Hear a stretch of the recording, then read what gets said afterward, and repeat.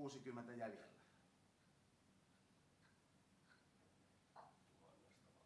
Tuhannesta. Ja sen jälkeen ne ovat poissa.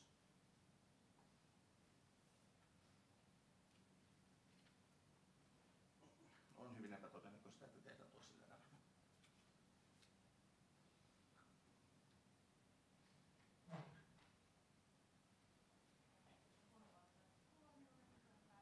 Amerikan markkinoille sitten. Kun käännös on myynyt 10 No, sitä päivää odotellessa.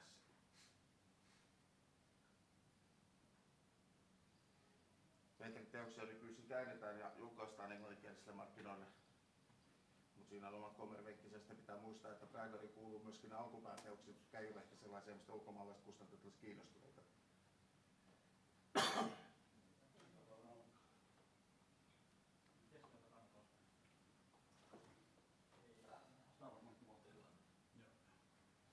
Rami, Kerro. toinen noista kirjoista tuolla pöydällä on sinun. Kiitän.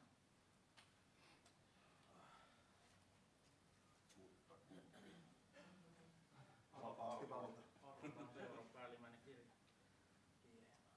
Kiitos. Ja nimikirjoituksia saa Kristeliltä tuolta.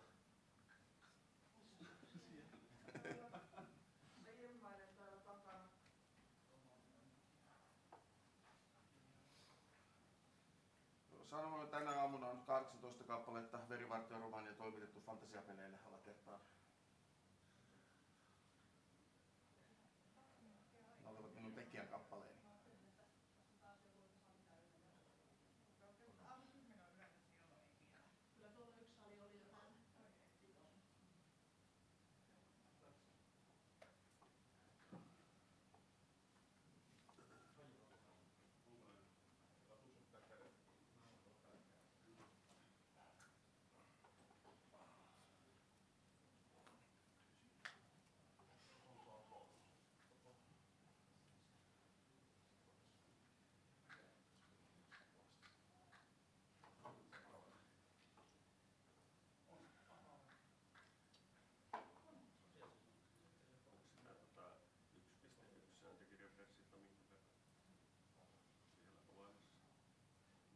Minulla sitä on olemassa 30 kappaletta.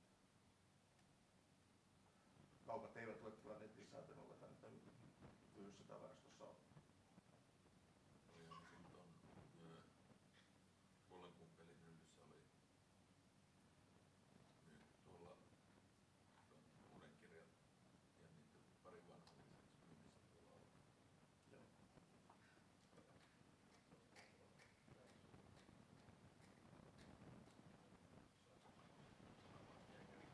Äärellisyyden nimissä hankkeessakin. Jos ykkösversio, mutta Toivotaan nyt, että päästään tämän esitelmän loppuun. seuraava, niin sitten edellinen. Vähän sitten, jos kohta sanotaan, että ollaan kakkonen, niin sitten kun se on ykköstä, niin sittenhän tuo vanha. Äkkiä pitää listata.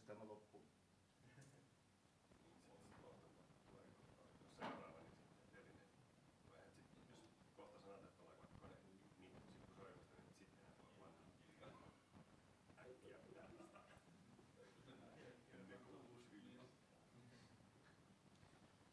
Okei. Täällä ei ole seinäkelloa. Silläkin uhalla, että Matti Myöhäisiä saapuu vielä, niin aloitetaan. Tervetuloa Ropekonin ohjelmasuunnittelun niin sanottuun pieneen kuolemanlohkoon, eli lauantai-aamuun. On olemassa myös suuri kuolemanlohko, joka on sunnuntai-aamu. Mutta on kiva nähdä, että täällä sentään vielä ihmisiä on ja osa heistä on jopa hereillä. Alun perin ja tässä oli tarkoitus puhua vain ja ainoastaan tulevaisuuden suunnitelmista, koska jo kustantajan suunnitelma oli, että romaanini Verivartio olisi ilmestynyt Helsingin kirjamessulle syksyksi. Sitten tyypillisellä kirjakustantajan logiikalla niin ne ilmoittivat, että itse asiassa me julkaistaankin se Finconiin mennessä, mikä tarkoittaa, että yhtäkkiä kaikella oli sitten useamman kuukauden edestä kiire. Sekä siinä, että minä saan tekstin valmiiksi, että Petri saa kuvituksen valmiiksi ja niin edespäin, niin edespäin. Mutta me onnistuimme ja kirja tosiaan tuli ulos Finconissa tämän kuun alussa. Ja minulla ei ole aavistustakaan, miten se on myynyt. Virallisia arvosteluja on julkaistu tasan tarkkaan yksi kappale ja sitten silloin tällöin netistä tulee tämmöisiä, että olipas kiva, koska se jatko-osa tulee, mikä ei ole varsinaisesti arvostelu, vaan niin kuin silleen, että luin kirjan enkä heitä sinua tomaatilla, jos toinenkin on hyvä.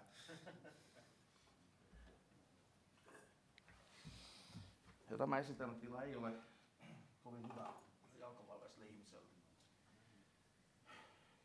Mutta puhutaan sitten verivartiosta, kun meillä kerran siihen tilaisuus on. Se on seikkailuromaani, koska minä en suostu kirjoittamaan muunlaisia fantasiatarinoita. Jos minä kirjoitan fantasiaa, se on seikkailua. Seikkailu on se asia, mikä minua fantasiassa kiinnostaa kaikkein eniten. Mutta tässä on mukana raskas annos juonittelua. Ja se sisältää sitten myöskin sen, että jos on juonittelua, se tarkoittaa, että meidän on pakko puhua politiikkaa. Jos me puhutaan politiikkaa, niin meidän on pakko ymmärtää jotain siitä, miten Jakonien eri hovit toimivat. Ja yksi sellaisista avainkohdista niin on ollut se, että tämä ensimmäinen kirja keskittyy varsin pitkälle Farignian hoviin, ja sitten se myöskin korostaa sitä, että millaisia eroja Farignian hoveilla ja Jakonian muilla hoveilla on toisiinsa nähden. Koska nyt kannattaa muistaa, että Jakonian kaupunkivaltioita yleensä hallitsevat kuninkaat, poikkeuksiakin on kuten Todd, mutta vain Farignian kuningas on Artanten itsensä valitsema ja ihmiskunnan vapautteen valjarmaiden jälkeläinen suoraan alenevassa polvessa. Hän on Artanten ääni, Jumalan edustaja maan päällä, ja hänestä ylöspäin arvojärjestyksessä niin mennään sitten tuonne tuon puoleeseen ja paratiisin puolelle. Eli Artanten dogma käsittää maailman hierarkiana, jossa jokaisella on oma paikkansa ja säätynsä.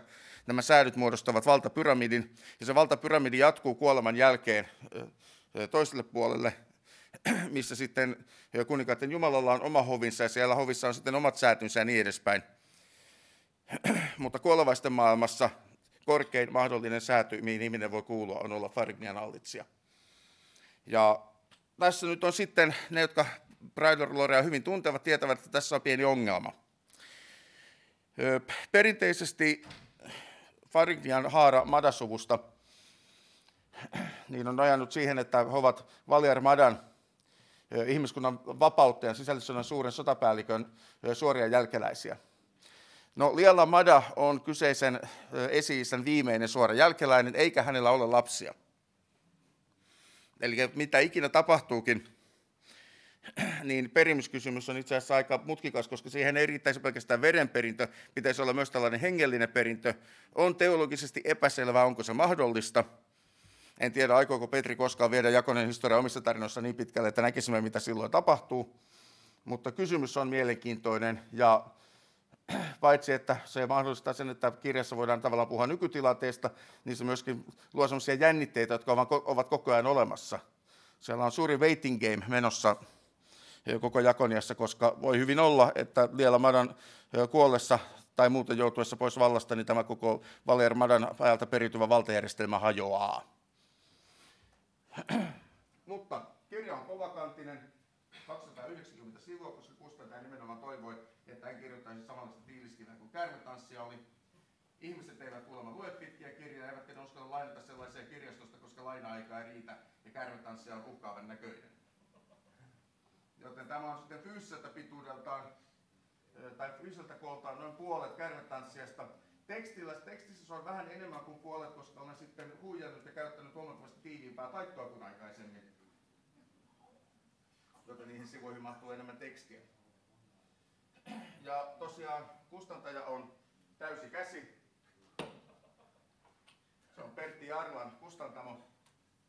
Ja tässä on nyt havaittavissa tämmöinen omituinen teema, että, kun minä tyypillisesti nähtä, olen nähtävissä tämmöinen sarjakuvakustantajien romaanikirjailija, ja aina kun joku kustantaja päättää, että hei mä kustantaa Petri Hiltusen sarjakuvia, niin omituisesti ne alkaa kustantaa myös minun kirjoja. Tämä tapahtui Arktisen banaanin kanssa ja sitten kun Petri siirtyy tuolta Arktiselta banaanilta tuonne täyteen käteen, tai en tiedä miten tuon pitäisi sanoa, täysi käteen, niin siinä mukana sitten niin sielläkin ilmoitettiin, että okei, että nyt sitten kaikki mahdolliset jatko-osat kärvetanssia niin ovat myöskin täydekäinen kustantamia. Ja olen kyllä iloinen siitä, että siellä jo nyt siis ollaan ihan tehty suunnitelmia, että ensi vuonna kun ilmestyy jatkoosa, kukahan senkin kirjoittaa, niin sekin julkaistaan ja niin edespäin, niin edespäin, niin edespäin. Todella mukavia yhteistyökykyisiä tyyppejä, mutta heidän kanssaan on hyvin vaikea laatia mitään sopimuspapereita, joten itse asiassa tälläkään hetkellä minulla ei ole kustannussopimusta ö, täyden käden kanssa tästä romaanista. Se on jo kaupoissa. En usko tulevani mitenkään petetyksi tässä suhteessa, se on vaan niin kuin yleistä täyttä kädetystä. Romaani on kronologista, mutta ei juonellista jatkoa Käärmetanssijalle. Käärmetanssijan tarina on done and dusted. Ö, Seikkailijan matka jatkuu. Pidän suuresti Howardin tavasta käsitellä Conan tarinoitaan löyhänä kronologisena jatkumona, niin että hänelle on olemassa tavallaan niin se Conan saaga, johon kuuluu ne 13 alkuperäistä kirjoittamassa tarinaa, jotka alkavat siitä, kun Conan on varsin nuori ja juuri lähtenyt kotimaastaan. Kirjoittanut hirviö taitaa itse olla ensimmäinen. Ja sitten päättyy Conan of the tarinaan, jossa Conan on jo vanha ja istuu Akilon ja valtaistumilla ja sitten tekee radikaaleja päätöksiä. Kaikki muut tarinat ovat myöhempien kirjailijoiden tuotosta ja suksikot suolle. Mutta al- alkuperäinen kronologia toimii minusta oikein hyvin, koska se on tavallaan jatkoa, mutta se ei kuitenkaan ole jatkoa. Ne on kaikki erillisiä irrallisia seikkailuita ja tarinoita, joilla ei ole muuta tekemistä keskenään kuin, että no, tämän kyseisen henkilön elämä tässä vaiheessa tapahtuu tällaista ja tällaista. Ja minä aion noudattaa nyt sitten Desain kanssa samaa linjaa, sikäli mikäli kun hän on vielä tämänkin jälkeen jonkun tarinan päähenkilö. Nyt tämä tarinahan ei pääty verivartiossa. Tulee ainakin yksi kirja lisää. Mahdollisesti kaksi, koska fantasia jostain syystä aina on trilogia. Ja sitten tietysti, jos fant- sitten tietysti ne on havaittu tämän, että sitten kun on onnistunut trilogia, niin sitten pitää kirjoittaa uusi trilogia. Ja sitten en tiedä mikä on yhdeksäntosaisen kirjasarjan vastaava termi. Verivartio on inspired by samanniminen roolipelikampanja, eli pidin kovasti Verivartio-nimisen roolipelikampanjan lähtötilanteesta ja asetelmasta, joka perustui siihen tilanteeseen, mihin taivaan suuri susi tavallaan Jakonian jätti. Ja minulla oli tässä suhteessa mun usean vuoden etumatka, koska minä sain luettavakseni sarjakuvan käsikirjoituksen jo kauan ennen sen ilmestymistä. Ja sen takia pelaajilla oli sitten NDA, että he eivät saa kertoa mitään niin kuin journalisia ö, tapahtumia kyseisestä kampanjasta. Ja sitten Petri voi kertoa niistä vaikeuksista, mitä taivaan suuren julkaisuun muuten liittyy, niin kesti neljä vuotta ennen kuin tarina ilmestyi ulos. Mutta onneksi ilmestyi, koska se sitten muutti Jakonian tilannetta sellaiseksi, että tällä asetelmalla oli tilaa. Se oli oikein hieno roolipelikampanja, pidin siitä kovasti ja asetelmallinen, herkullinen, siellä oli mukavia elementtejä, että minä rupesin miettimään tällaista tarinaa jo ihan silloin. Ja sitten Kärmetanssijan myötä ne ja tavallaan tupsahti syliini päähenkilönä, joten mikä sen parempaa. Ja kaikessa mitä minä kirjoitan, minä tavoittelen kärmetanssia, tyyliä ja kerrontaa. Olen itse kuvaillut sitä, että haluan olla Alexander Dumas vanhempi, joka kirjoittaa Robert D. Howardin tarinoita. Siinä on puutteensa ja etunsa.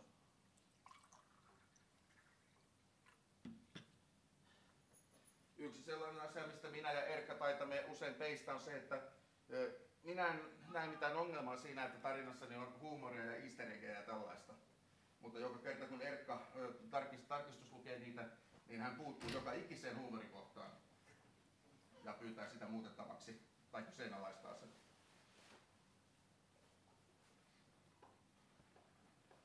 Mutta niin, Alexander Duman teokset ovat tyypillisesti vakavista aiheista huolimatta vähän niin kuin veijaritarinoita. Ja samaan tapaan minä haluaisin kertoa omani. Sellainen mukava, rupatteleva, vähän humoristinenkin viihdyttävä tyyli. Niin kuin siinä olisi oikeasti joku tarinankertoja, joka kertoo sitä tarinaa, eikä niinkään, että se on niin vain kuvauksia siitä, mitä tapahtuu. Kärmetanssia lukeneet voivat päätellä itse, että onnistunko siinä vai ei.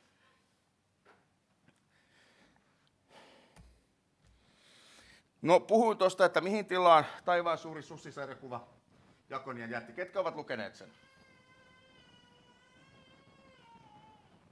Oliko tuo kyllä vai ei?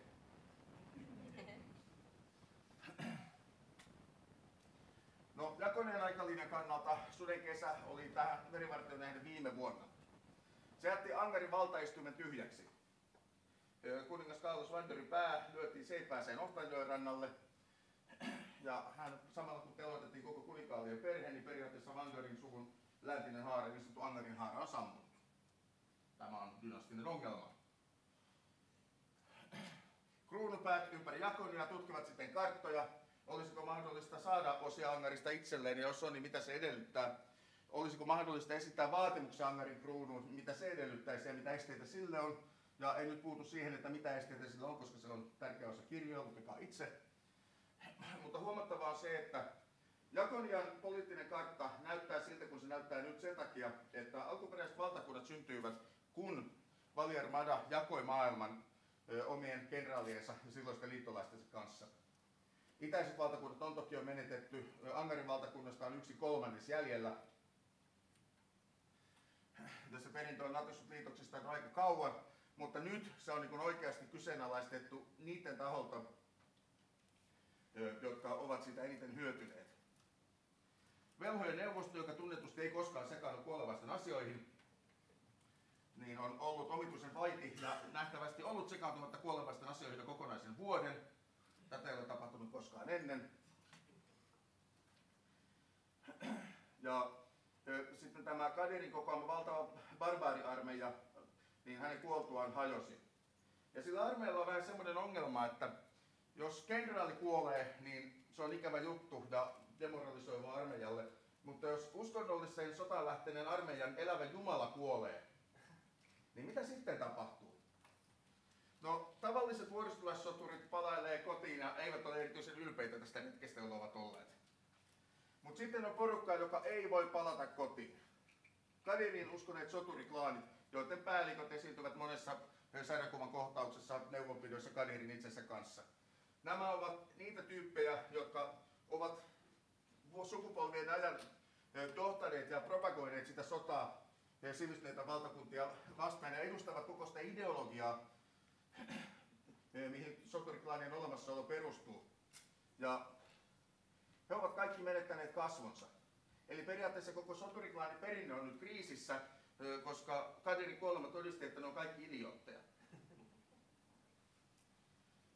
Ja tästä, tämän takia sitten niin ne kovan linjan johtajat, ne eivät voi palata heimoihinsa. Heidät on häväisty. Heillä ei ole tarkoitusta elämässä ja niinpä jotkut ovat surmanneet itseensä, toiset etsivät kuolemaa valtavalla perserkkeinä erämaassa. Ja ongelma on se, että tämä, nyt puhutaan niin sellaista porukasta, joka taistelutaito on 16 ylöspäin. Niin, niitä, ne laumat ovat sangen vaarallisia ja ne saattavat valtaa siellä aika pitkään. Ja ne nyt ei verivartiossa niin selvästi näy, koska siinä ollaan vielä Farignessa, mutta tulevissa teoksissa liikutaan niiden omilla mailla, joten kohtaamisia näiden berserkkien kanssa varmasti on.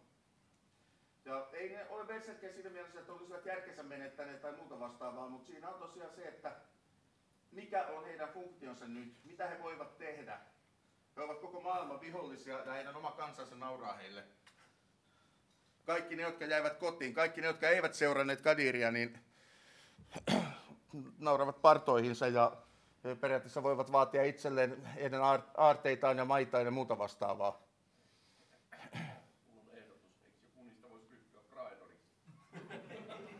Eipäs nyt hypätä asioiden edelle. Emme ole vielä siinä kirjassa. Oh. Ehdotus sinänsä ei ole mitenkään huono, niin siinä saattaa käydä, mutta se ei ole käynyt vielä. Katsotaan, mitä seuraavassa kirjassa tapahtuu. Mutta tämä on siis, tämä on sitten myöskin ongelma, koska Angerin valtakunta ei ole ollut ihan vakainen ja turvallisin paikka oikeastaan niin kuin sitten vuoden sitten 200-luvun. Ja nyt sitten niin meillä on harvaan asuttu pitkien välimatkojen vuoristolaaksojen ja suurten erämaiden maa, jossa valtaa erittäin taitavia, murhanhimoisia uskonsa oman elämänsä ja tarkoituksensa menettäneitä puolijumalallisia sotureita. Eli vaikka Angarissa on todennäköisesti populaation nähden niin eniten hirviöitä kaikista kaupunkivaltioista, niin siellä on nyt sitten ihan ylimääräisiä ihmiskasvoisia hirviöitä sen myötä. No, mä olen nyt puhunut näistä vuoristolaisista aika paljon, mutta ne eivät tosiaan tässä kirjassa näyttele niin tärkeä osa kuin se, että kruunupäät tutkivat karttoja ympäri Jakonia. Niin sanottu suuri peli, kuka perii minkäkin valtakunnan, millainen on se maailma, jossa Valiar Madan linja on sammunut. Joillakin on välittömiä vaatimuksia, suunnitelmia, toisilla on pitkän aikavälin suunnitelmia ja parhaimmilla juonittelijoilla on molempia. No, Farignian hovia varten piti sitten keksiä paljon uutta. Meillä ei ole oikeastaan muita hovin sijoittuvia tarinoita kuin ö, vielä Madan ö, alkuperätarina Valta ja Mieli. Mutta siitäkin tarinasta voitiin päätellä paljon. Ja Petri aina inhoaa sitä, että kun minä ihan suruttaa, niin turvaudun kaiken näköisiin historiallisiin lähteisiin, että okei, tämä yhteiskunta voisi toimia näin ja tämä voisi toimia näin. Minun Farigniani on yhdistelmä muinaista Bysanttia ja Kiinan keisarikuntaa. Ja se menee Petrillä itse asiassa ihan hyvin läpi näin tarkastusluvuissaan siitä huolimatta, että hän haluaisi, että se olisi fantasisempi eikä perustuisi mihinkään tunnistettavaan lähteeseen. Minä en pysty kirjoittamaan seurahistoriallista fantasiaa ilman, että se perustuu johonkin tunnistettavaan lähteeseen. Länsimaisia vaikutteita, kiinalaisia vaikutteita, pysäyttiläisiä vaikutteita. Hovi. Meillä on jumalallinen hallitsija, mutta koska hallitsija on nainen ja muutenkin tavallaan dogmaattisesti ongelmallinen, niin hän on aika riippuvainen siitä, että mitä suur, Farikien suuret mahtavat aatelisuut hänestä ovat mieltä. Nämä aatelissuvut puolestaan muodostavat klaaneet. Jos puhutaan niin oikeasti korkeasta aatelistosta, niin silloin puhutaan suvusta, jotka hallitsee useita aatelisarvonimiä. Eli samaan sukuun ei kuulu ainoastaan se pääaatelinen, vaan herttua toi ja kreivi toi ja markkisi toi ja niin edespäin. Ja siitä syntyy semmoinen dynastinen verkosto, ja näitä Farignakin kokoisia valtakuntaan mahtuu vain rajallinen määrä, ja ne tavallaan sitten muodostavat sen korkeamman aatelin, jonka kanssa kuningattaren pitää tulla toimeen. Taivaan suuressa sudessahan on loppupuolella hieno kohtaus, missä kun ensin Farignan armeijan varsinainen komentaja, kenraali Mendas, on osoittautunut ei ehkä ihan parhaaksi mahdolliseksi valinnaksi, jos puhutaan kyvykkyydestä, niin hänen tilalleen on ylennetty nuori kapteenilla oikeasta ja sotakokemusta barbaaria vastaan. Ja sitten kun kriisi on ohitse, niin kuningatar lähettää sen kapteenin maailman ääriin. Se on aika tärkeää minun romaanin kannalta, minähän se hänet lähetettiin. Lukekaa siitä itse. Ja ylentää tämän vanhan epäpätevän tyypin takaisin asemansa Faridin armeijan komentajana, koska hän on riippuvainen siitä, että tämän tyypin takana oleva suku tukee kuningashuonetta ja kuningashuoneen päätöksiä kuinka paljon valtaa Leela Madalla niin itsenäisesti on, kuinka paljon hän voisi vedota siihen, että hän on artanten ääni ja Jumalan edustaja maan päällä. Se on vaikea kysymys ja se on niin sellainen raja, jota kukaan ei halua kokeilla. Koska jos sitten osoittautuu, että okei, tähän ei enää kuningattaren valta riittäisikään, niin sitten on suuria ongelmia.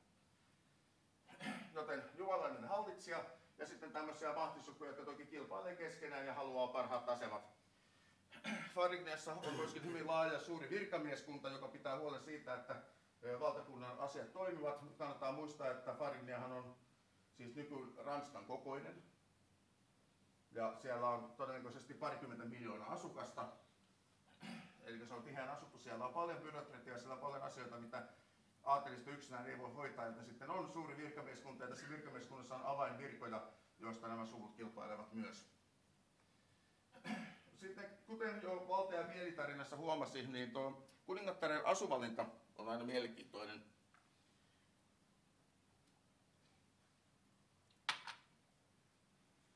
Tässä näkyy hyvin, hyvin kallis ja hieno esimerkki farignialaista hovikaavusta. Ja ne teistä, jotka muistavat muita kuvia sääntökirjasta, niin huomaavat, että tässä näyttää aika tavalla velhojen kaavulta. Ja siihen kuuluu erilaisia liehukkeita, roikkuvia asioita, palmikoita ja muuta vastaavaa, jotka myös jäljittelevät muinaisten velhojen tyyliä, niitä pitkiä hiuksia ja muuta vastaavaa. Ja se on itse asiassa täysin ymmärrettävää, koska ei kuolevaisilla ollut omia kuninkaita ennen Valiar Madaa. Mutta oli olemassa hovit ja oli olemassa byrokratia, oli olemassa tapoja tehdä asioita. Ja velhot olivat pyörittäneet kuningassukujen ja hovejaan kauan joten kuolevaiset sitten siinä vaiheessa omaksuivat nämä velhojen mallit melkein sellaisinaan. Nyt muualla jakonissa sitten, kun ei ole sellaista dogmaattista painolasta kuin Farigiassa, niin asiat ovat menneet eteenpäin. Ja tällaisia kaapeja käytetään yleensä uskonnollisissa seremonioissa ja hautajaisissa ja muuta vastaavaa. Mutta Farignia noudattaa vanhoja tapoja. Ja siellä ollaan hyvin perinteisiä ja näinpä siellä sitten jonkin pienemmän aatelissuvun omaisuudesta ihan huomattava osa saattaa olla kiinni hovikaavussa, joka on niin koristeltu, että se pysyy pystyssä ilman käyttäjääkin.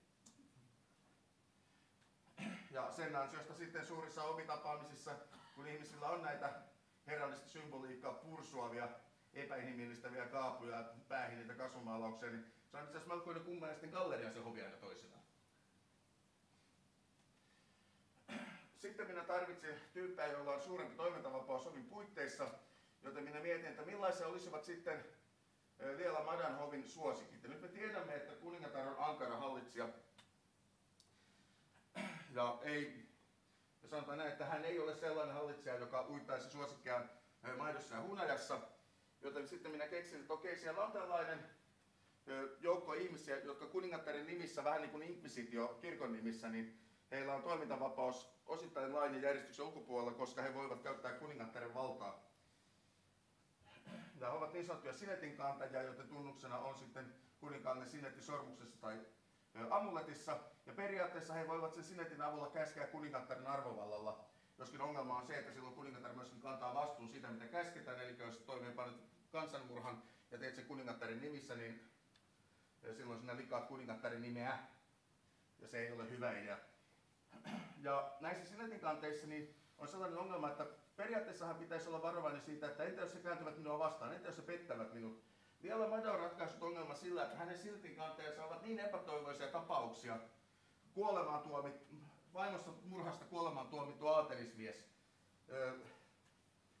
Öö, monenlaisia muita kummeisia, sellaisia tyyppejä, jotka eivät selviäisi päivääkään ilman sitä kuningattaren arvovaltaa hänen takanaan. Jos kuningatar kaatuu, hän vie kaikki sinetin kanteet armotta mukana.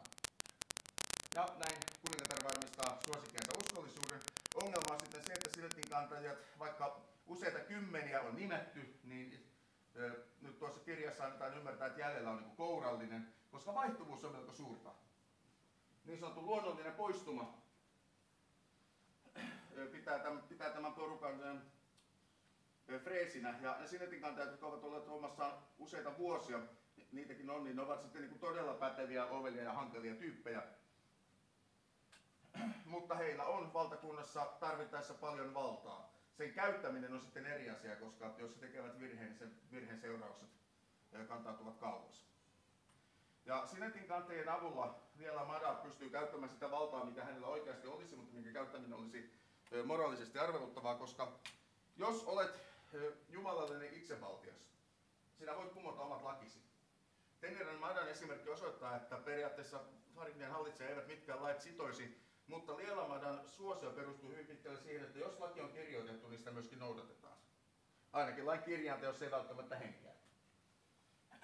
Ja vaikka laki ei ole kaikille sama, siis oikeasti on rangaistus, minkä saat rikoksesta riippuu ihan puhtaasti siitä, mihin säätyyn kuulut, niin kaikki kuitenkin se on niin ennustettavissa oleva järjestelmä. Ja siksi Farignia toimii, siksi kuningatarta pidetään oikeudenmukaisena hallitsijana, koska aateliset eivät pysty luistelemaan näistä rangaistuksista ja velvollisuuksistaan irti.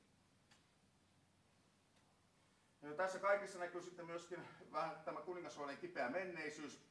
Muuta kuninkaallista perhettä ei enää ole. Lialamada on ainoa linkki Valiarmadaan ja periaatteessa kaikki tietää, että kun hänestä aika jättää tavalla toisella, niin on niin sanotusti kakka tuulettimessa, mitä tulee dynastiseen perimykseen ja uuteen vallanjakoon ja muuhun vastaavaan.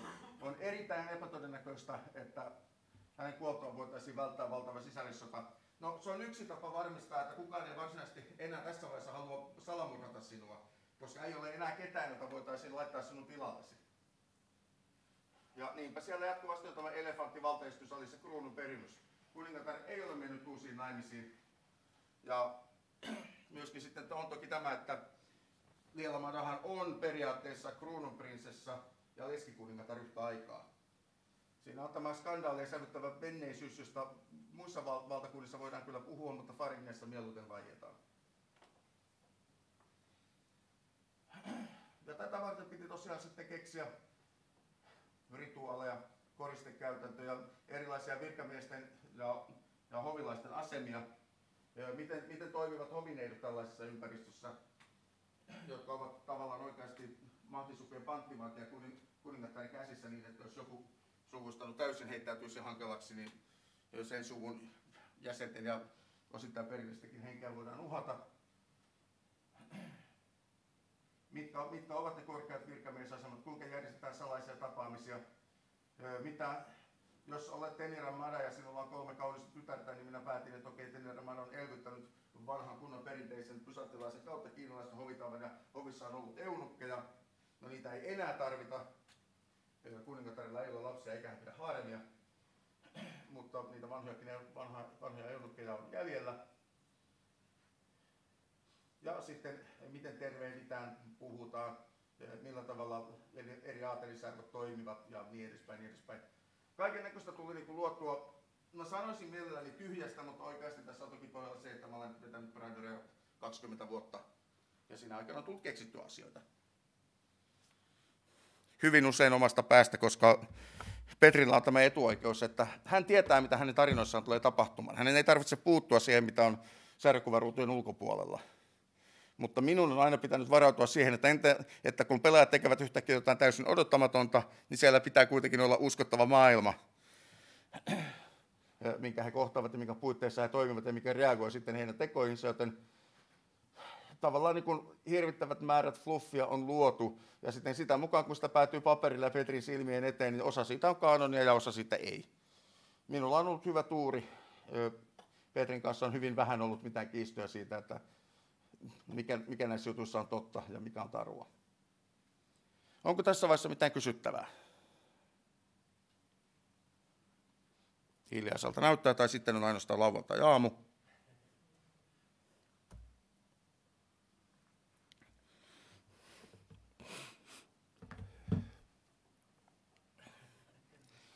Surullinen totuus on, että tarina ei pääty tähän. Jos luette sen kirjan loppuun, niin olen yrittänyt saada siihen hienon draamaan kaarin, joka sitten päättyy siinä kirjan lopussa, mutta on aivan selvää, että pääjuoni jatkuu ja saattaa jatkua vielä aika kauaskin. Joten seuraavan teoksen nimi on jo päätetty, se on nimeltään Pitkien varjojen maa. Ja kustantaja nyt on täysin vakuuttunut siitä, että mehän julkaistaan tämä ensi vuonna. Että kun tuossa alkukeväästä luovutat sen käsikirjoituksen, niin kaikki on hyvin. Katsotaan. No. Ja kuten täydenkäden kanssa kaikki tapahtuu, niin tämäkin on jo suullisesti sovittu. Yritetään nyt saada se kustannussopimus tuosta olemassa olevasta kirjasta ensin. Mutta totuus sanon, että onneksi meidän lihavien ja parrakkaiden fantasiakirjailijoiden aikatauluihin voi aina luottaa. Mikä voisi mennä pieleen.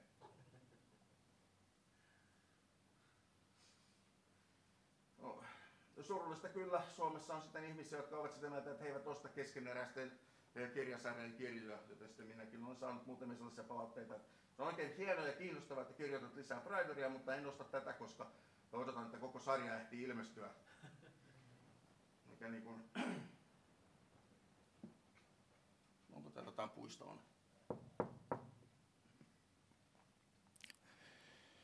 Joo, katsotaan miten käy.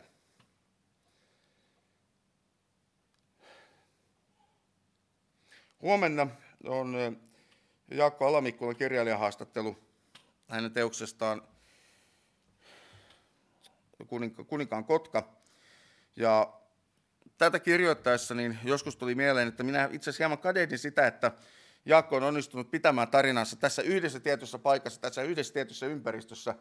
Eli hän on onnistunut sinänsä ihan keskelle Jakonian sivistystä luomaan itselleen pienen mikrokosmoksen, jossa hän voi tehdä mitä, suunnilleen mitä haluaa kunhan hän ei poistu siitä kuplasta, mikä hän on luonut itselleen Holmsin ja Tutusin rajalle. Ja minä puolestaan olen kirjoitan ja katson koko Jakonian karttaa, että okei, tämä valtakunta reagoisi näin ja tuo valtakunta reagoisi näin ja tuolla on vallassa tuollaisia tyyppejä, tuolla on vallassa tuollaisia tyyppejä. Ja seuraavaksi me varmaankin matkustamme noin 1500 virstaa tuonne ja niin edespäin ja niin edespäin. Täytyy sanoa, että minä hieman tosiaan kadehdin sitä, että minäkin voisin vain kirjoittaa asiat tapahtuman jossakin pienessä kuplassa, niin kuin vanhassa koirassa aikanaan, joka oli sijoitettu niin korpein, että kirjoitan minä ihan mitä tahansa, niin sillä ei ole kannalta mitään merkitystä. Enää se ei päde. Jos seuraava teos Pitkien varjojen maa ottaa Kaanonin ja Petrin omien kirjoittajaohjeiden suhteen niin suuria vapauksia periaatteella, että on helpompi saada anteeksi kuin lupa, mutta se riski sisältää sitten sen, että on hyvin mahdollista, että vetri toteaa, että tämä ei käy ja tämä ei käy ja tämä ei käy. Ja sitten alkaa kolminkeskinen keskustelu siitä, että että hei kustantaja, tämä teidän aikataulu ei nyt onnistu ja kyllä se nyt täytyy onnistua. Ja minäpä tässä taivut, taivuttelin hieman Petriä ja hän varmaan siitä suutu ja niin edespäin. Niin edespäin. Joo. Onko täällä joku, joka on jo onnistunut lukemaan verivartion? On teitä muutama. No sanokaa nyt koko yleisölle, kannattaako se hankkia? Kyllä. Kannattaa. Joo, muistaakseni lukuja on 10. Tai itse asiassa nollasta kymmeneen, joten periaatteessa 11. No, toivottavasti se uppoaa yleisöön, koska tässä suhteessa niin kysyntä poikii kysyntää, eli jos verivartio menee kaupaksi, niin sitten kustantaja on innokas panostamaan siihen, että myöskin seuraavaan kirjaan saadaan Petri Hiltusen kuvitusta ja ylimääräistä vaivannäköä ja muuta vastaavaa. Ja, ja minun täytyy sanoa, että tämä kansikuva on vähän niin kuin kompromissi. En itse asiassa ole itse sen suurin ystävä, mutta kaikki taiteelliset asiat eivät ole minun käsissä. Mutta sitten tämä seuraavalla sivulla oleva kuva, tanssiva Neja, tätä minä olen odottanut vuosia. Koska kärmetanssiassa ei ollut mitään muuta kuvitusta kuin kansikuva. Ja sitten joudutaan arktisen banaanin silloista kuvit, kansikuvatyyliä, niin sekin on semmoisessa postimerkissä sen kannen keskellä. Joten siitä ei tahtonut saada mitään selvää. Tämä on ensimmäinen profiili- ja muotokuva, mitä minulla on minun tarinoittani päähenkilöstä, ja kun minä kuitenkin kirjoitan periaatteessa sarja, sarjakuvista alkunsa saaneeseen maailmaan, niin se visuaalisuus on ollut minulle tärkeää. Ja siinä on nyt sitten oikeasti Petrin näkemys siitä, että kaiken sen jälkeen, mitä hän on lukenut kahdesta eri romaanista, miltä minun päähenkilöni näyttäisi. Neja on nyt 16-vuotias. Ja Jakoniassa tässä iässä niin aika usein ollaan naimisissa ja ensimmäiset lapsetkin on syntyneet. Hänellä tietysti tätä tilannetta ei ole, koska hän viettää moraalisesti arveluttavaa elämää kotutanssijana, on yksinäinen ja ei ole mitenkään helppoa olla yksinäinen nainen Jakonian kaltaisessa yhteiskunnassa. Hän viimeksi kun kärmetanssia päättyi, niin hän lähti länteen Farigian ihmeiden kadulle etsimään elämää Priderina. No, siinä on vähän semmoinen ongelma, että olet Prider-porukan johtaja ja sitten ovesta kävelee sisään 16-vuotias tyttö, joka sanoo, että hei, minäkin haluaisin Prideriksi. Mitä teet? Todennäköisesti lähetät hänet toivottavasti ystävällisin sanon, mutta ei aina matkoihinsa. Ja tämä on käytännössä se, mitä Nesahille tapahtui. Hän ei ole uskottava Priderina, etenkin kun viime kohtaaminen vanhan koiran ja muuten kanssa päättyi siihen, että vanha koira on levittänyt sanaa, että tämä retkoissa mukana ollut henkilö on kuollut. Eli periaatteessa kukaan ei tiedä, kuka hän on, tai mikä hän on, tai mitä hän on tehnyt. Joten Nesa on vain omituinen, hieman androkyyni, 16-vuotias neito, jolla on kasvoissa taidokkaasti arvesta muotoiltu tällainen kärmekuvio ja sen enempää niin mahdolliset johtajat eivät hänestä tiedä. Hän ei onnistunut löytämään itselleen matkaseuraa, hän ei onnistunut liittymään mihinkään porukkaan, jolloin kysymyksessä muotoutuu, miten hän sitten elättää itsensä. No, hän oli katutanssija Galtissa, sitten hän tuli katutanssia Farigniaan, ja sitten Farigniassa hän onnistui liittymään sellaiseen teatteriseurueeseen, mutta minä yritän korostaa sitä siinä niissä kohtauksissa sitä, että miten vaikea sellainen elämä loppujen lopuksi on.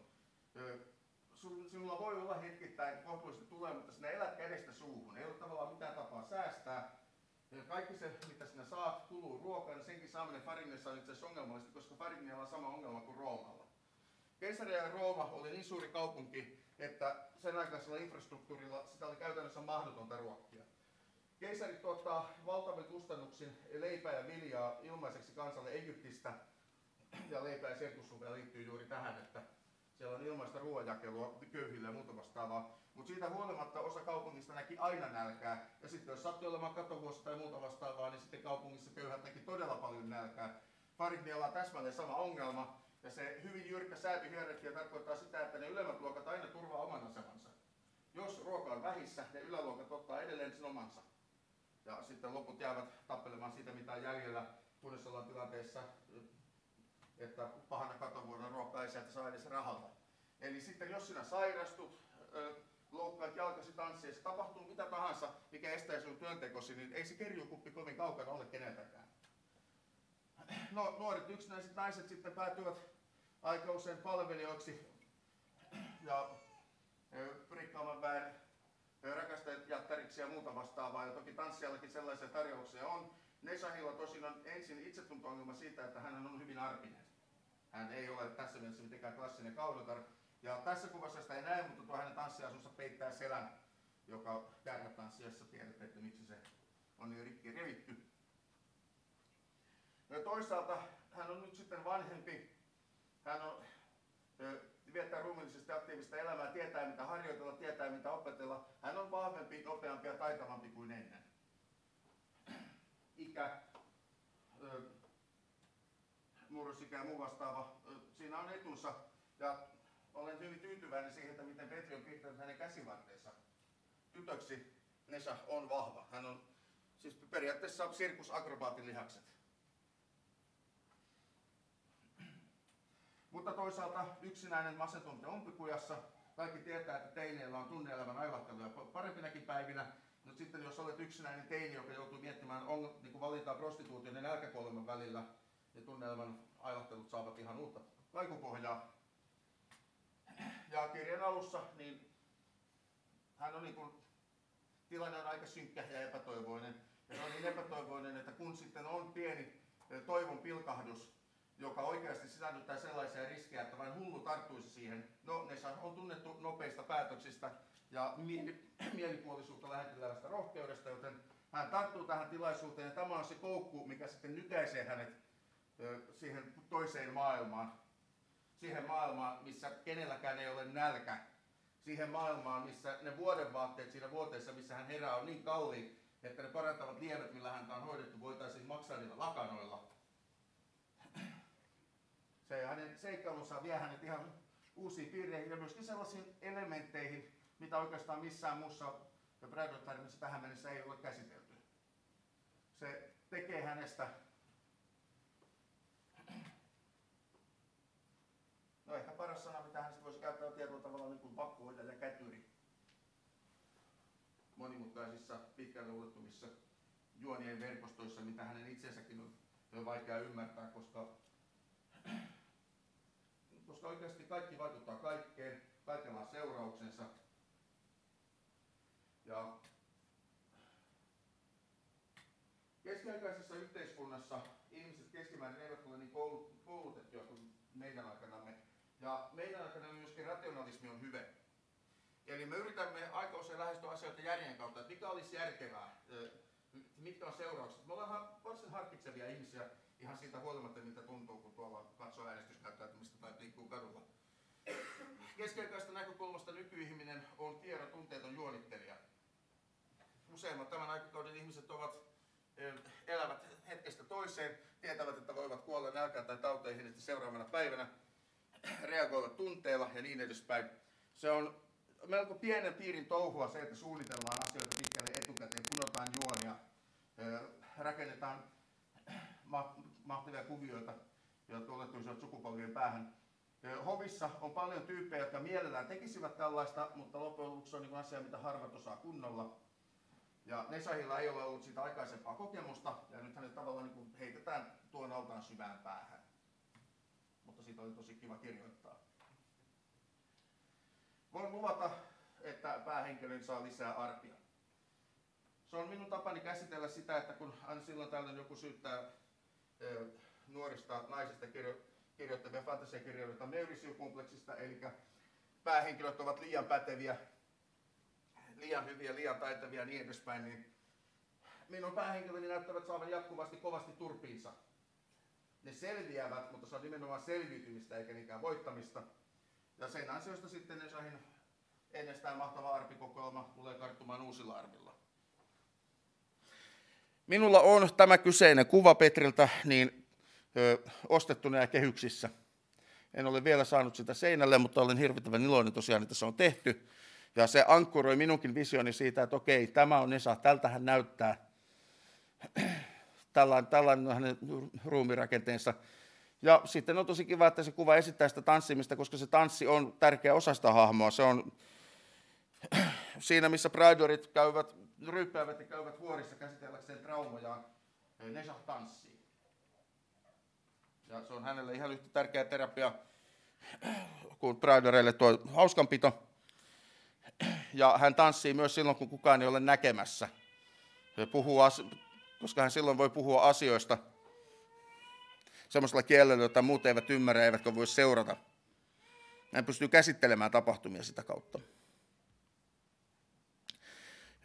Tämä kuva ei ole itse asiassa kirjasta. Tässä on vanhan Ropekonissakin julkaistu Bridal kuvitusta, mutta minä pidän kovasti näistä vaatteista, että vanhemman aatelismiehen kuosi silloin, kun ei ole, ei olla pukeuduttu tähän hovikaapuun, vaan muuten ollaan pukeuduttu edustavasti. Siinä on hieman kaavun elementtejä, kovetettu leveinen hartioinen ja muuta vastaavaa. Ja sitten tällainen huppupäinen mies kaupungilta, joka ei varmastikaan herätä mitään epäilyksiä. Se on niin hyvä kuva, että se piti laittaa tähän slaidiin. Ja en nyt, halua, en nyt halunnut laittaa tähän esitelmään kaikkia Petrin tekemiä kuvia. Siinä kirjassa niitä on useita. Tärkeimmät viholliset ja sitten kaikki nämä tarinan huomattavat päähenkilöt. Mutta tämä kuva on myöskin upea. Ne teistä, jotka muistavat tarinan valta ja mieli ulkoa samalla tavalla kuin minä, tunnistavat, että siinä taustalla on itse asiassa Kriikin kukko valtaistuin, joka, jonka Petri ilmeisesti hirvittävästi asiaa miettimättä, niin oli piirtänyt Teniran madan istumapaikaksi kyseisessä tarinassa. Tästä tietysti näin roolipelikirjoittajan näkökulmasta seuraa se, että okei, tässä maailmassa on riikinkukkoja. Riikinkukko on Intian, Intiassa elävä trooppinen lintu. Mihin hemmettiin Japoniassa minä voin laittaa riikinkukon? No periaatteessa minulla on vanha vakio vastaus suurissa metsissä. Se on 30 astetta pakkasta talvisin, mutta siitä huolimatta aina jos minä en tiedä, että, tai tarvitsen jotain, mikä on meidän maailmassa kotoisin tropiikista, niin minä aina laitan sen suuriin metsiin. Mutta niin tai näin, rikkikukat ovat ihastuttaneet nähtävästi myöskin kuolevaisia kuvanveistäjiä, tai saattaa olla, että tuo on heitä vanhempi.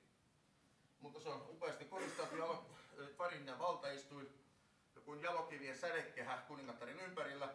Ja Temiran Mada pukeutui varsin usein niin sanotun uuden tavan mukaisesti paitaan, housuihin ja muuta vastaavaa. Lialamada ei tätä tee. Jos Lialamadalla on jonkinlainen esiintyminen, hän käyttää tätä kaapua, ja nämä kaavut on suunniteltu siihen, että sinä seisot ja näytät pitkältä, ja on paljon pitkänomaisia linjoja, että sinä näytät tosi entistäkin pitemmältä ja arvovaltaisemmalta ja uhkaavammalta.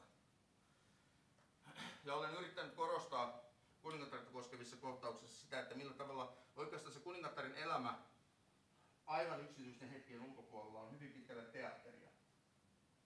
Ja sillä teatterilla on tarkoituksensa ja sillä on yleisönsä.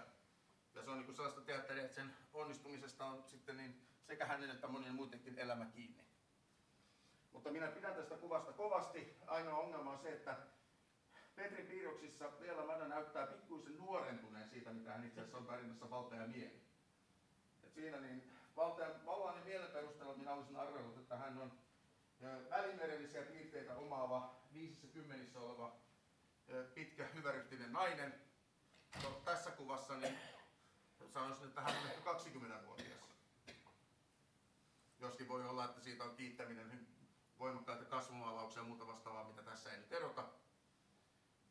Ja sitten puolestaan niin Taivaan suuri susitarinassa hän on kuivakka, ehkä 50 oleva, mutta niin on paljon kovempi ja laihempi nainen. Jos seuraavassakin kirjassa tulee olemaan kuvitusta, niin no siinä ei ole samalla tavalla tilaisuuksia piirtää kuvia Leela Madasta, mutta olen utelias näkemään, millä tavalla kuningattaren muotokuva tulee elämään, koska selvästikään se ei ole vielä loksahtanut taiteilijallakaan paikoilleen.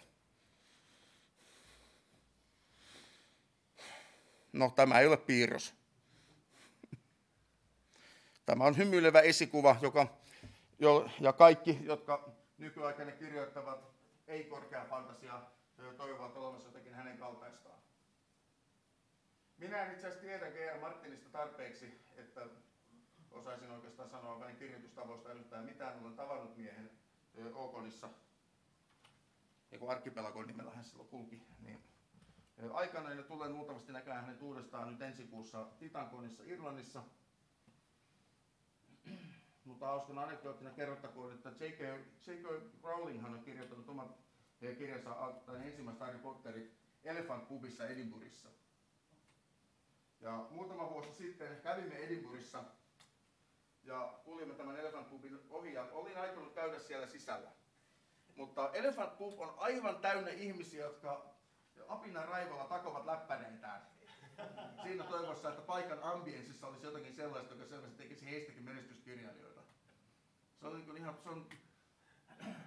En tiedä, onko välittävätkö Harry Potter-fanit siitä paikasta tuo taivaallista, mutta niin nuorille toiveikkaille kirjailijoille siitä on tullut tämmöinen pyhiinvaelluskohde. Ja siellä se on Edinburghissa niin sanotun mailin varrella, että sitä voi käydä katsomassa ja ihmettelemässä. En tiedä, onko se aina niin täynnä, mutta silloin se oli tosiaan, että sisään ei olisi mahtunut. Se oli huikea.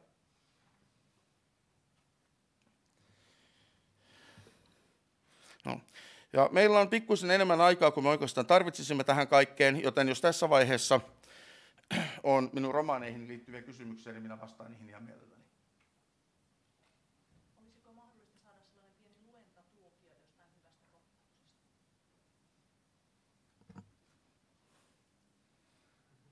Ei, se on kipeä kirja. Minulla ei ole kirjaa tässä. Kaikki kirjat ovat alafantasiapelien tiskillä. Joo, ajatus on oikein hyvä. Olen pahoillani, että en tullut ajatelleeksi tätä ja korjaan asian ehdottomasti. Toivon mukaan ensi vuonna seuraavan kirjan kanssa.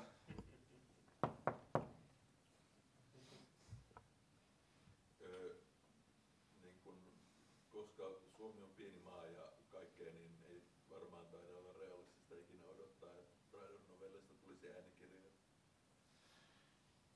Ää, Asiasta on nyt puhuttu aika paljon ja saattaa olla, että yritän tehdä asialle jotain ihan noin pro bono periaatteella ihan vaan siksi, että näemme, että miten se toimisi. Kustantaja tietysti on asiasta hyvin kiinnostunut, kunhan siihen ei tarvitse laittaa penniäkään rahaa. Ja tällä hetkellä minä käyn vääntöä kustantajan kanssa siitä, että verivantio julkaistaisiin e-kirjana, koska sarjakuvakustantajana heillä ei ole e-kirjoista mitään kokemusta. Että eikös e-kirjat ole joku sellainen uusi omituinen härpäke, jolla on hyvin pieni markkinaosuus, joka sanoo kysyvät ja katsovat minua epäluuloisesti. Joten olemme vielä tässä vaiheessa, mutta minä henkilökohtaisesti kyllä haluaisin, että se ilmestyisi äänikirjana ja, ja yrit- yritän tehdä asialle jotain. Mutta tietysti jos sen äänikirjan tekeminen menee tuon seuraavan kirjan, kirjo, kilpailee ajasta tuon seuraavan kirjan kirjoittamisen kanssa, niin valitettavasti äänikirja häviää. Hyvä pointti. Muuta kysyttävää?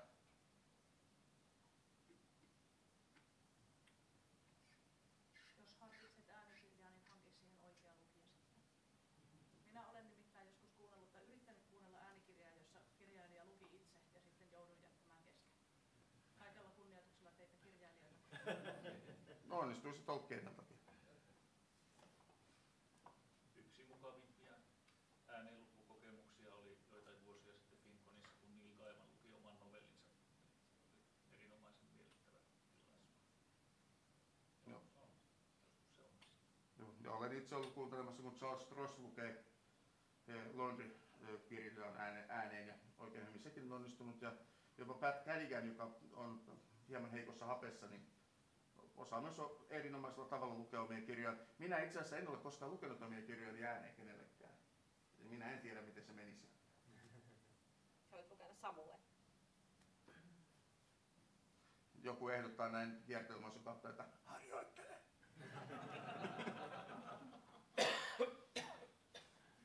Alright, muita kysymyksiä liittyen romaaniin? Kauanko tuon verivartion kirjoittamisen meni?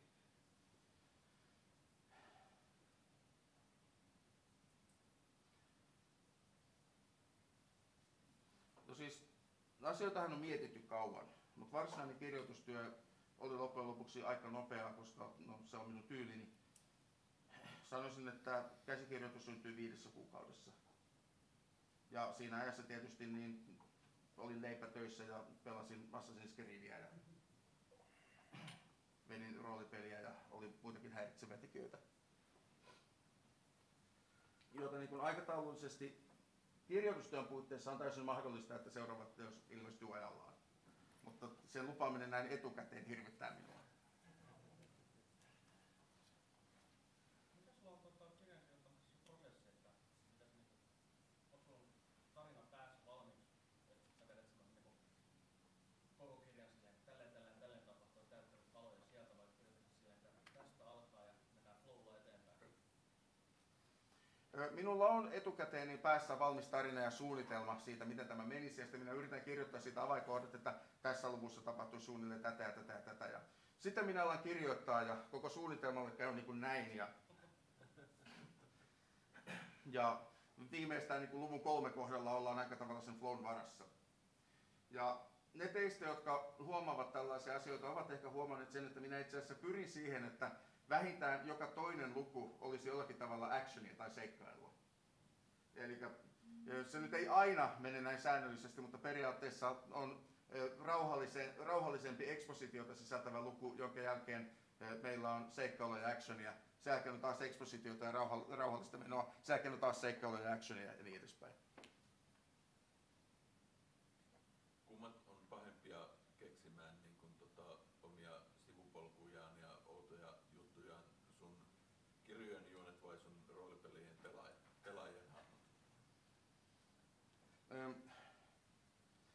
Pahempia ja pahempia. Ö, Pelihahmot tekee sitä enemmän. Mutta silloin kun kirjan hahmo tekee niin, niin sitä taas on hyvin vaikea käsitellä, koska se kirjan hahmo ei kerro minulle, mitä se aikoo. Ö, ö, Roolipelihahmo pelaaja voi selittää, että miksi minä tein näin.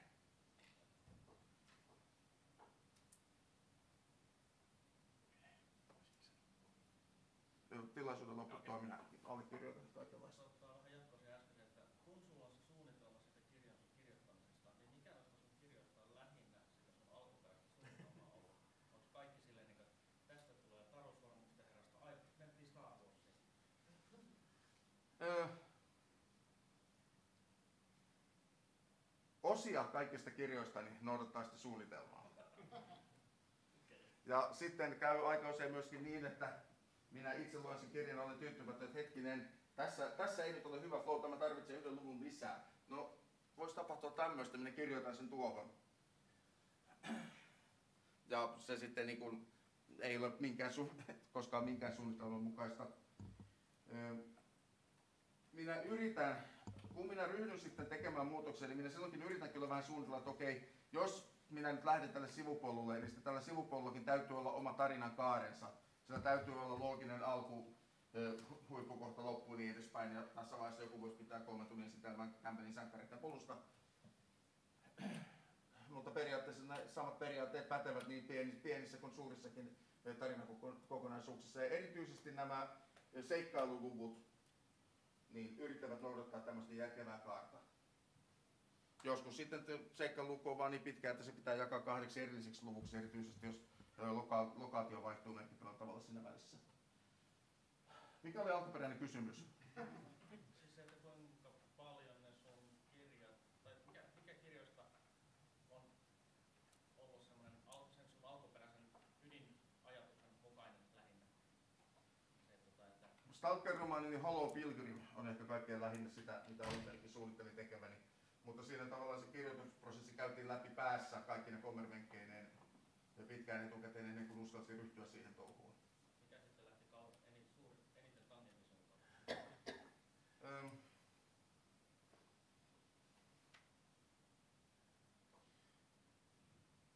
No sekä tämä että käärmetanssi ovat lähteneet tangentin suuntaan. Käärmetanssi on pitempi, joten se on ehtinyt tangentin suuntaan kauemmas periaatteessa.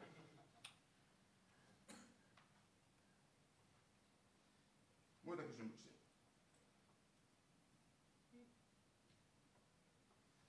Okei, muita kysymyksiä ei näytä olevan. Tuli tuosta va- vanhemmista kirjoista mieleen tuo vanhan koiran tarina, että pohjaako se kuinka paljon joihinkin roolipeliseikkailuihin vai onko se tehty miet, miet, miettimällä vai pelaamalla vai sekä että? Se on tehty miettimällä. Se ei perustu siihen, siihen mennessä pelattuihin seikkailuihin. Ja itse asiassa ne seikkailut, mitä pelattiin silloin, niin on semmoisia seikkailuja, joiden elementtejä näkyy käärmetanssiassa, mutta vanhaan koiraan ne eivät vaikuttaneet.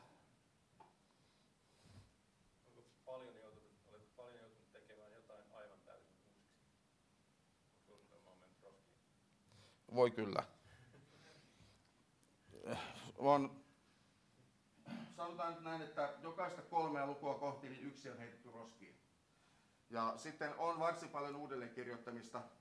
Ja osittain johtuen siitä, että minun tapani käsitellä raiteusblokkia on se, että okei, minä vain kirjoitan. Ja tuloksena on hirveää kuraa, mutta sitä kuraa voi sitten alkaa editoida ja korjata. Ja yleensä se blokki vähintään siinä sitten prosessin aikana murtuu. Mutta siitä tulee sitten ylimääräistä työtä. Ja sitten joskus on ihan yksinkertaisesti niin, että kirjoittelenpa, siis minä rakastan ekspositiota. Mä rakastan kirjoittaa, että, että kirjoitapa seuraavaksi, seuraavat kahdeksan sivua esitelmää eh, Farignian palatsin arkipäivärytmistä. Ja sitten kun se on kirjoitettu, niin oikeutettu tila tällä kaikella olisi yksi paragraafi, joten Del ja sitten toivon mukaan olen valinnut sen parhaan paragrafin kaikista niistä 15, mitä en kirjoittaa.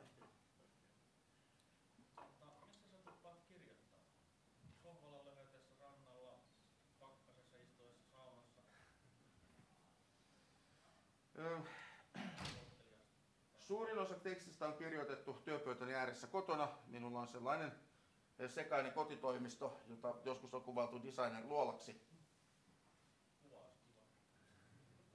Et saa. Sitten kun se on siivottu.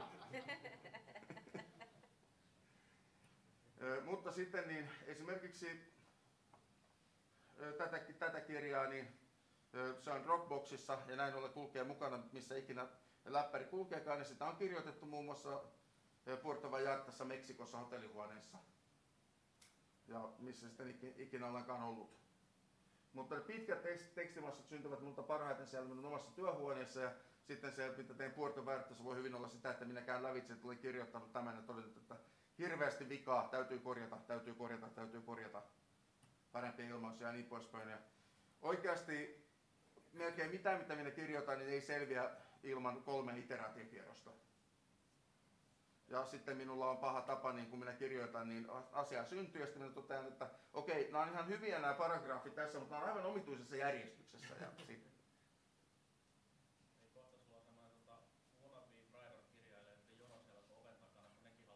tota, perustat, hankitte omat game designer cavinne.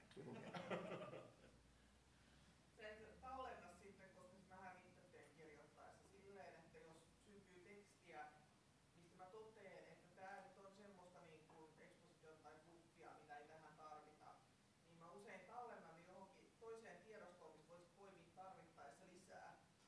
Se vähän riippuu siitä, että miten minä itse arvioin sen tekstin tärkeyden. Että joissain tapauksissa minäkin teen noin, ja sitten joissain tapauksissa niin on se, että minä kirjoitan tähän tiedostoon tätä tekstimassaa, ja se tekstitarina niin kuin etenee tässä. Mutta sitten jos sä lähtisit kelaamaan niitä sivuja eteenpäin, niin sieltä löytyy kaikenlaisia eteenpäin työnnettyjä sektioita, jotka on heitetty sinne jonnekin odottamaan, että olisiko niille mitään käyttöä, tai ne on vanhoja versioita siitä, missä tarina tällä hetkellä muuten menee. Tota, säästääksä sun niitä sutta ja sekundaaks me tota, kategorioituja kirjoituksia ollenkaan silleen, niin, että en mä halua tätä mä vuodatta tähän sieluja ja kyyneleitä muutama uhrilahja. Ei tätä voi heittää roskiin, että onko sulla niitä semmoinen niin hukattujen tavaroiden roskas, jossa on olemassa, missä on vähän tallessa siellä. Ei. Ne menee ihan po- polttolukunnassa. Jos minä olen vuodattanut siihen sieluun ja tuskan hikeä ja kyyneleitä, niin minun työpisteeni yksi tärkeistä elementeistä on sellainen puinen eh, virtahepopatsas, joka edustaa toteimihippua ja joka on minun uskonnollisen elämäni keskipiste. Ja kaikki mitä minä tuhoan tästä omalla sydänverellä kirjoitetusta on uhri hänelle. Ja hän ei anna sitä takaisin.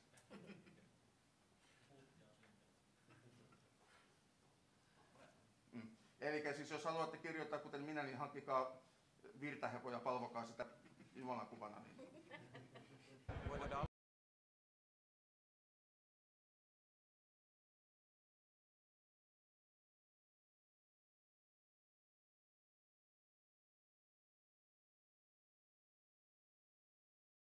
Tämä tosi ahkerasti, niin se toteemihippo saattaa tota, suustaan No ainakin niitä pöydälle ilmestyy. Tuo on loogisin selitys. Mihinkäkään päivässä sä oot ää, nuo ideat